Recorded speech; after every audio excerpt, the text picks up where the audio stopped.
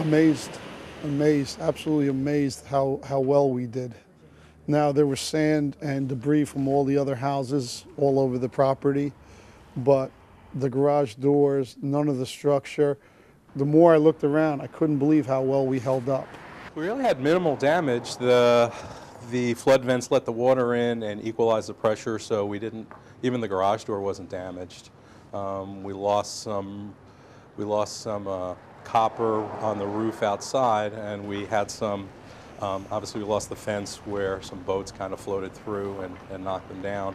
This is, uh, this is 10. The base flood elevation is really at 8, so our, our base flood is about here, but you know, we built, we built to 10. The water came within six inches of the floor, so we were certainly glad they had us raise the, uh, the floor. Uh, they, they, had the two foot requirement as opposed to uh, the plus one that it used to be, because we're in a coast, we're in a coastal A. Paul had us put rebar into the footing so the rods come up. Every four feet we have them into the, so that when the water comes, it'll hold the pressure of the water right? Then we have the flood vents that releases the water back out. We kind of built up the grade. I don't know if you can tell, but like the driveway here and everything, we put in a lot of fill here to, to get us higher so that when the water does come, it can recede out a lot easier.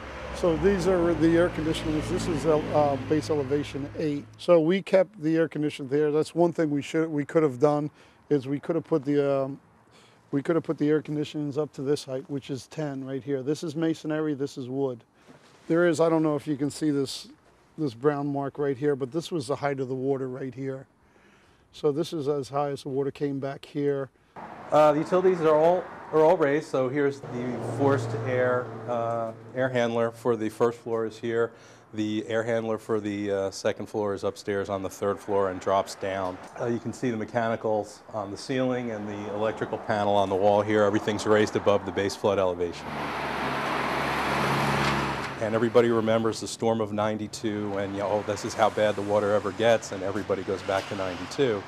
Uh, and it was really three and a half feet higher than it had ever gotten you know, that was just, that was like the perfect storm. That hurricane made a direct left right into us. You know, if you're going to live on a barrier island, um, you know, you, you're going to have to anticipate these storms coming in. Now, will it ever, will we ever see another storm like that? I don't think so, but who knows?